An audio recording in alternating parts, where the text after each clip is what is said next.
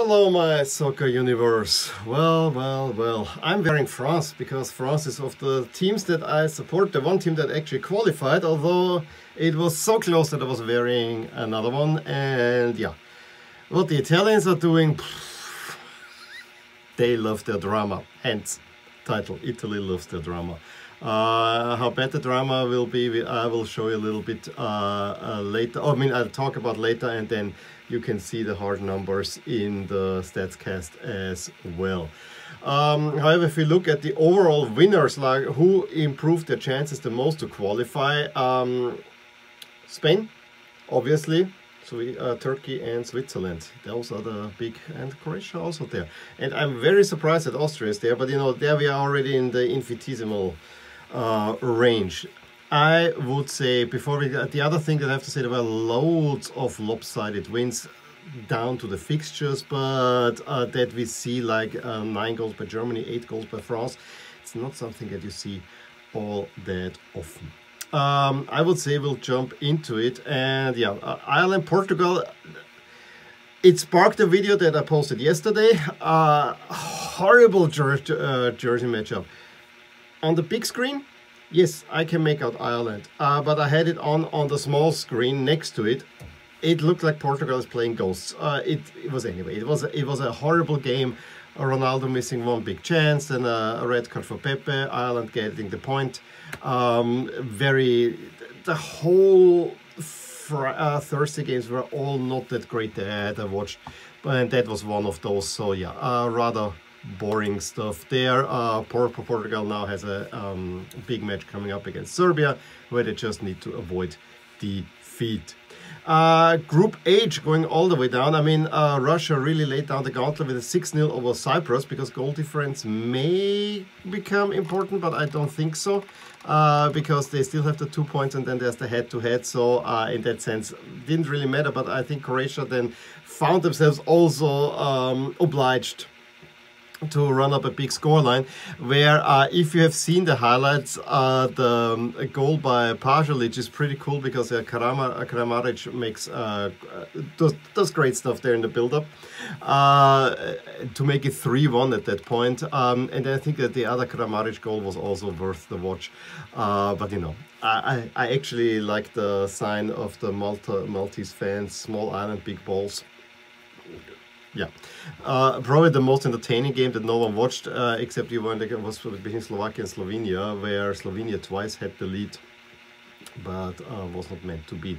Uh, so it's pretty clear that we have today three three o'clock. I hope the video post before that big matchup between Croatia and Russia. Croatia needs to win. It's as simple as that. Uh, Germany already qual qualified, said uh, send off to Jogi, Löw, 9-0 uh, over Liechtenstein.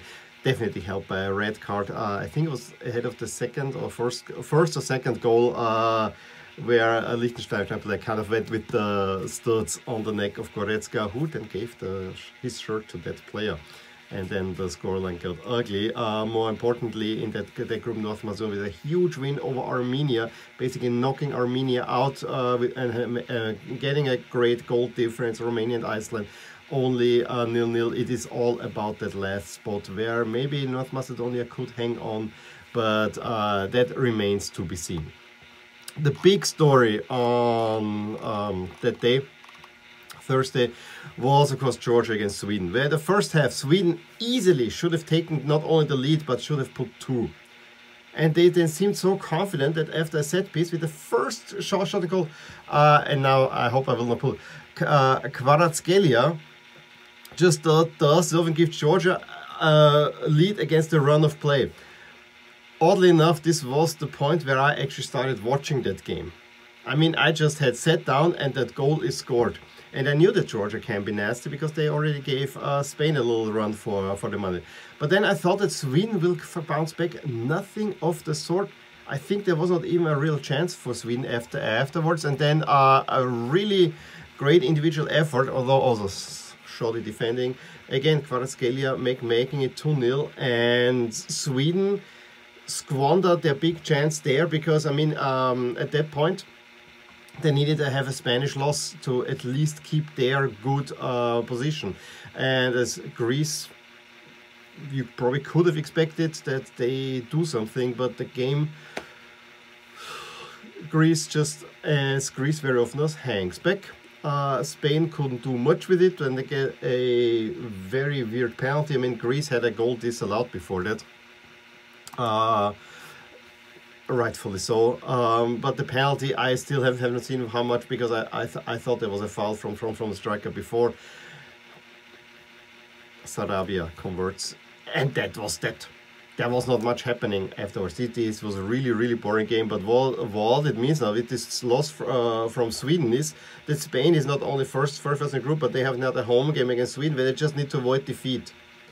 If Sweden would have won that game, at least Sweden could hope for a draw. So I mean, uh, not not a good sign for Sweden. Uh, they look very much playoff bound.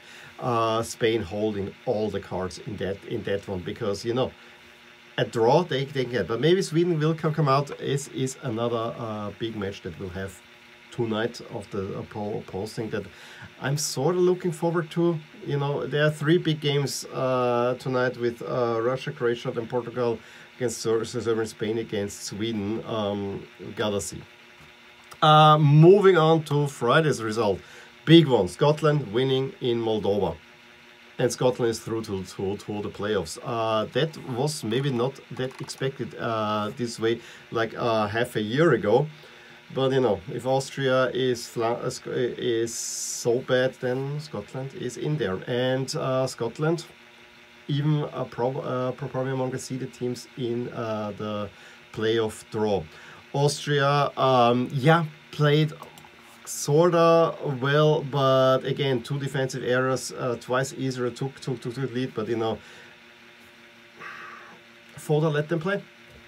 He did not go defensively or whatever, Foda let them play, but still uh, conceding two against Israel, uh, when the score and probably uh, more correct score would have been 6-1.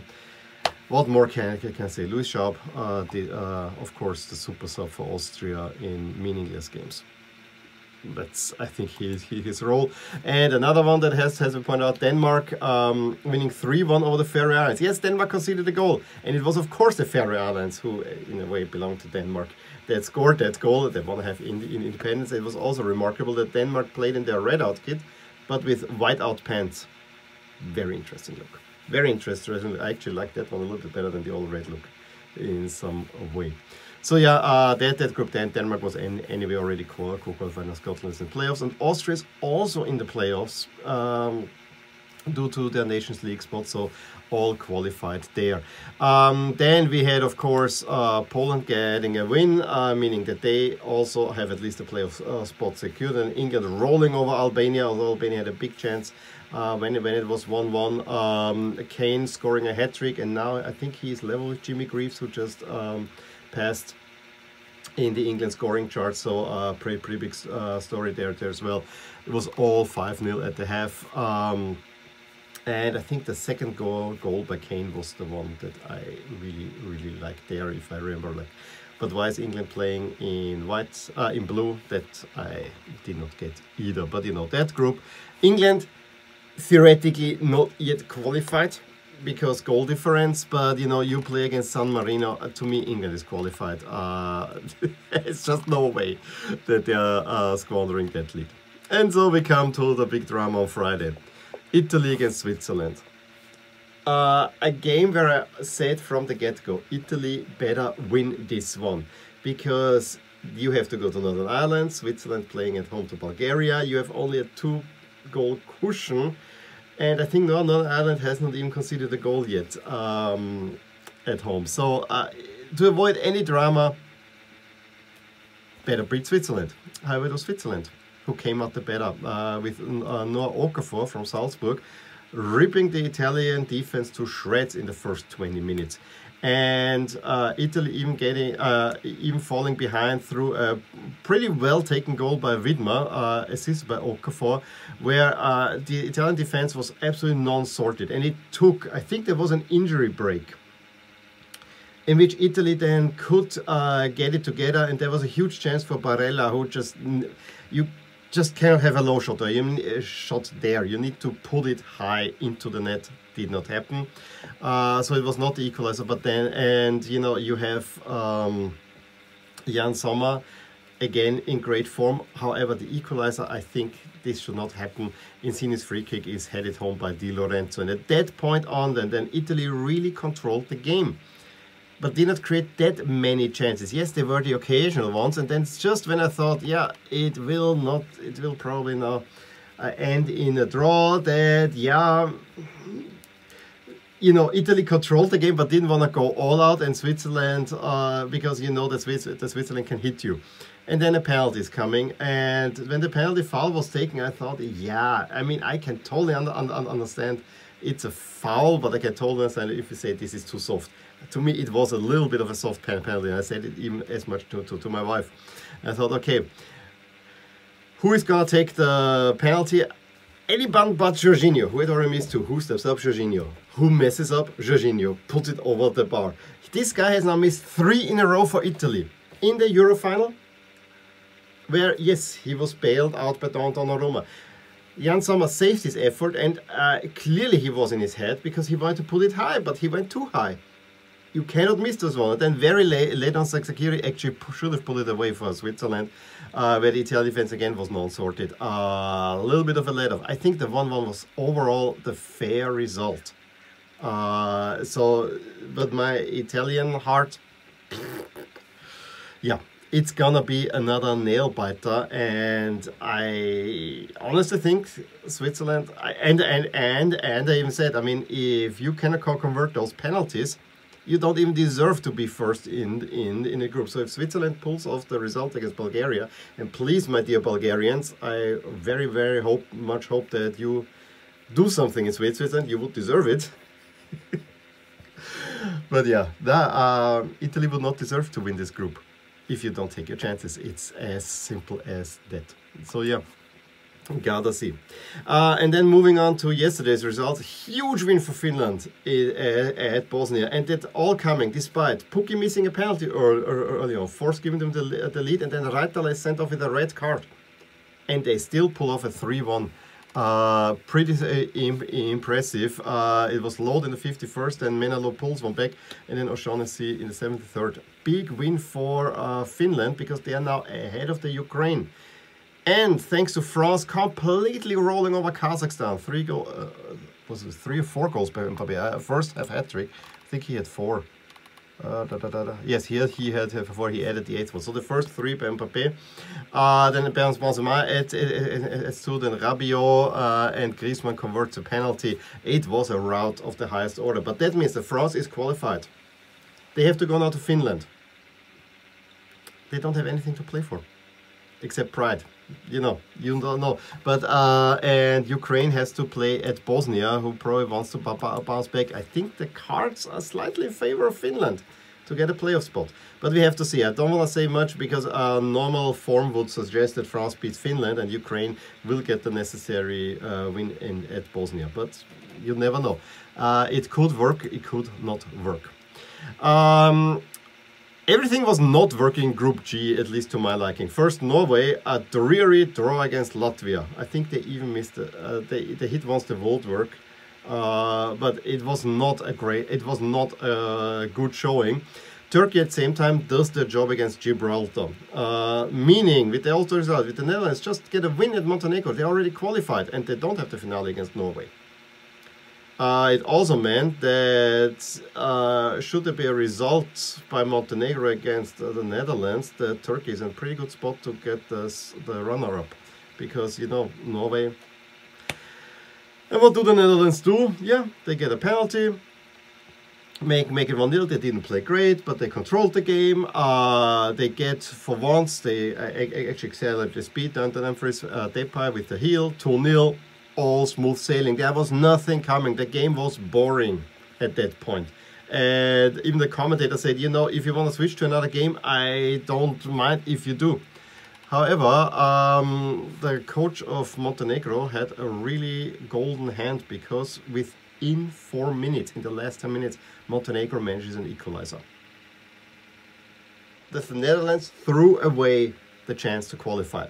Yes, they're still looking good because they just they just need uh, I think a draw against uh, Norway should be enough. Just let me check now here on the standings.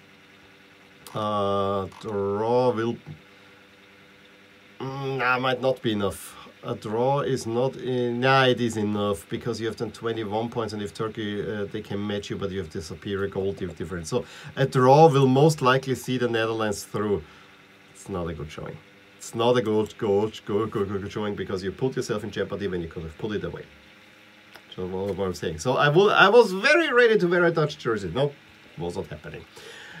Belgium though does the job, qual qualifies. Wales also do their job 5-1 uh, and they and the Czech Republic are the other two teams that are already in the playoffs. I said, I'll send a statcast after. Uh, please let me know what you thought about the games. Um, you know, it was so and so. I think uh, Friday said Friday was exciting. Um, yesterday was also kind of so and so, but uh, today is the is probably the biggest day in World Cup, Euro World Cup qualifying with three finals and all to play for. And then we have to see uh, how Italy is gonna squander their chances again of qualifying directly and maybe the Netherlands also do a screw job. We'll see.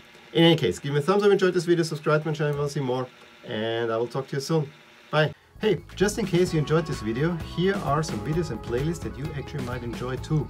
Also, please consider following me on social media and actually subscribe to my channel so that you stay updated with everything that happens in my soccer universe. And with that, have a wonderful day. Bye.